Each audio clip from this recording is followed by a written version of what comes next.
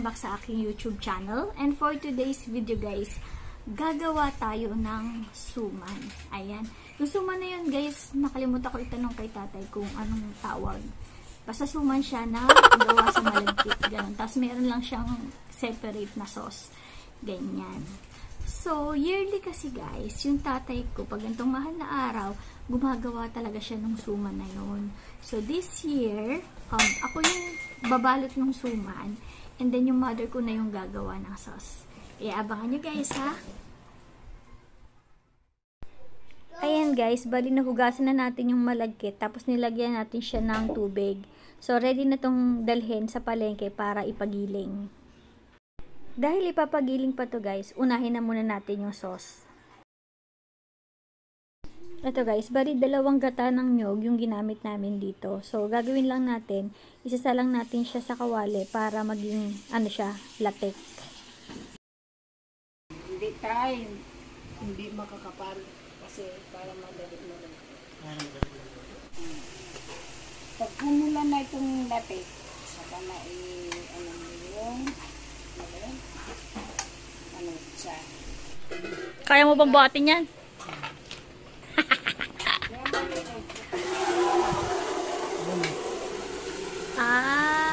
Yung sa nanay ko yun, matulog medyo brown na siya. Kailangan i-brown nga eh. Kailangan mo brown na brown? Pwede na yan. Eh, mag-brown. Mag-brown na yan pag nilagay pa Kaya siya. lang yung akin, mag-brown at saka papait pag masobrahan. Ilagay mo ito na. Tapos, pag matunaw na, lalagyan ng tubig. Yung marami hindi nilalagyan ng tatay. Hindi kayo Nilagyan ng tubig? Konti lang. titigas ng titigas panutsa. So, dadami na yung Matutunan na konti-unti. tutunan. sausawan. Si tatay gumagawa yan dati. Ba't ngayon ay hindi na?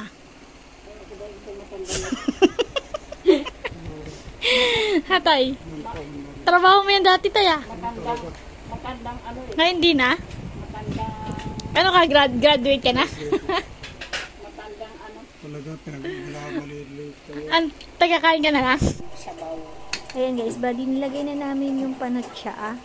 Ayan, bali tutunawin na lang siya. Tapos lalagyan lang siya ng konting tubig tsaka asin. So, ayan na yung magiging itsura niya pag natunaw na guys. And luto na rin yung sauce natin.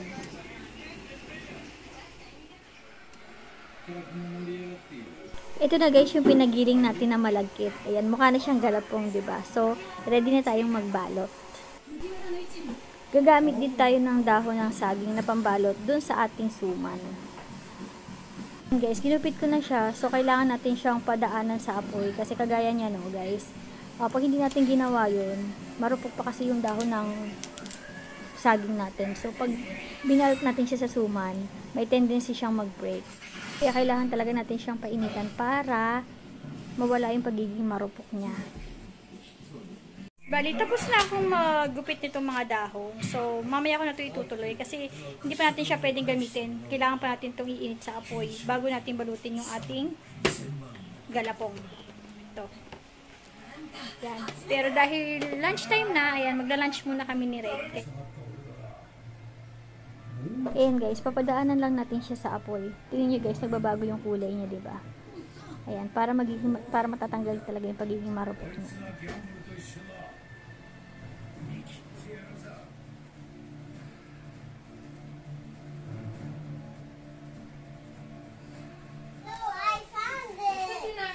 Totoo.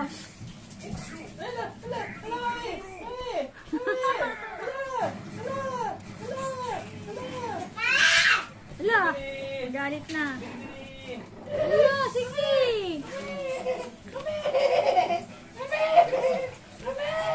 Sarutan. Ewan ko sa inyo. Hindi ko naman nakita.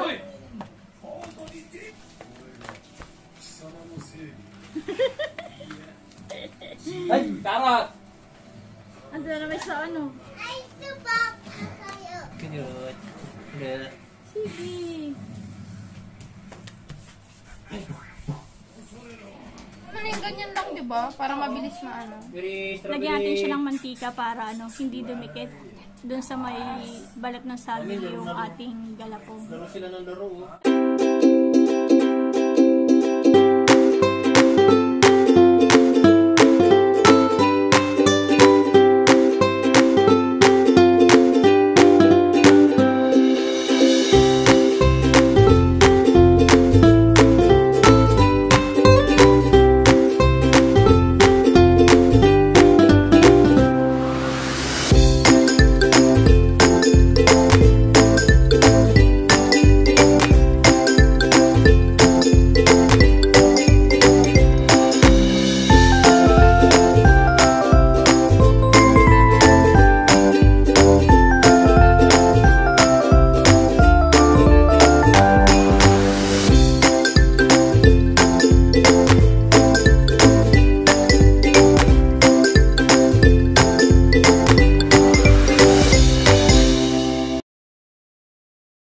Lagyan natin ng ano, dahon ng saging yung kaserola para protection ng suman para hindi siya masunog.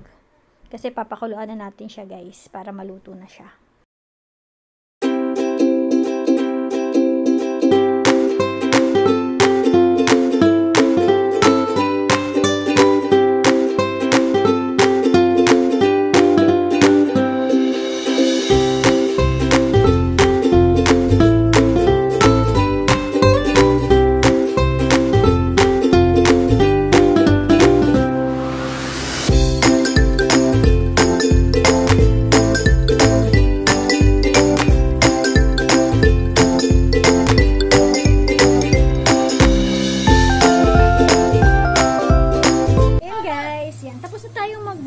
Suman. Kaya ngayon, isasalang na natin siya. Nilagay ko na siya dito sa kalderong malaki.